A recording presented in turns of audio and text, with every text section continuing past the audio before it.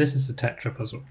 It's made up of four identical pieces and it's solid metal, so this weighs over a pound. It's really heavy. It's quite a tricky puzzle. You've got to try and take it apart and then piece it back together again. But it requires a bit of dexterity as well as reasoning to get this one to come apart and back together. So I'm going to take it apart and then we're going to have a look at how to fit it back together again. So all the pieces have been separated now. You can see they're all identical. These look pretty cool, I think, as they are. And then to get them together, what we're going to need to do is to get the positioning on these all right. So we put them together in a loose base, like this. And they can't all fit together properly yet. The final fourth piece drops in on top.